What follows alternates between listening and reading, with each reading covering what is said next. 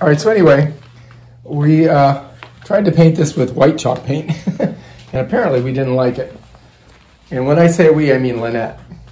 And um, so what we're gonna do is we're gonna try some blue chalk paint and see how she works out. And uh, hopefully it'll it'll match my bed cover. This what do you call this thing here, honey? It's like a uh, bench ottoman storage seat. A bench ottoman storage seat, and make sure you get your knee pads on because uh, Don't film my you're gonna need that. All right, here we go.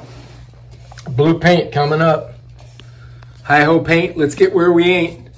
Oh, that's that's a good color. I like it already. I think we're gonna have to really slop it on though. What do you think? Oh yeah.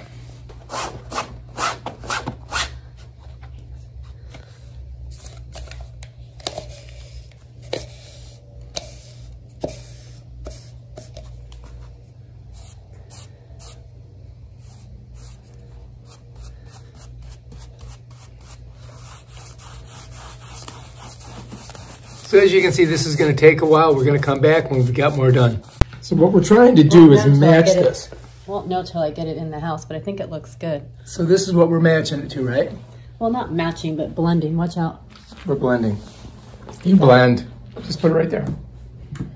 All right, let's blend it up. So far, so good. It looks pretty nice. I like it. I think it's going to take a lot of paint, though.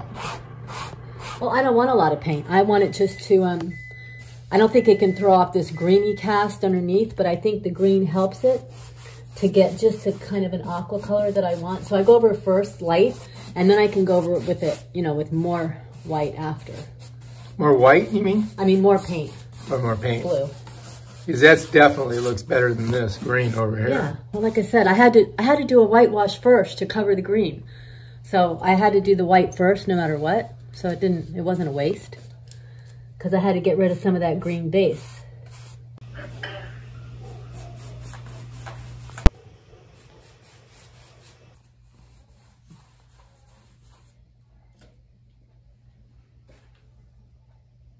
You can let it go. You sure? Yeah. Just let it go. It looks good. Doesn't it? All right, so we've completed our project. Tell us about what you did here. I chalk painted it. And what is chalk paint? Chalk paint is a uh, water-based paint. You can paint on furniture or fabric. Doesn't really need any prepping.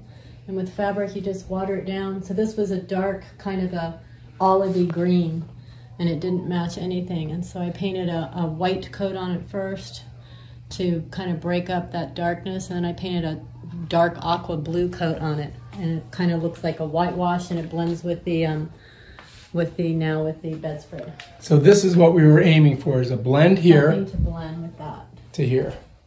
That doesn't it makes it look gray in there. Isn't that funny? Look at the color, the difference between the phone and there. Two different colors. Hmm.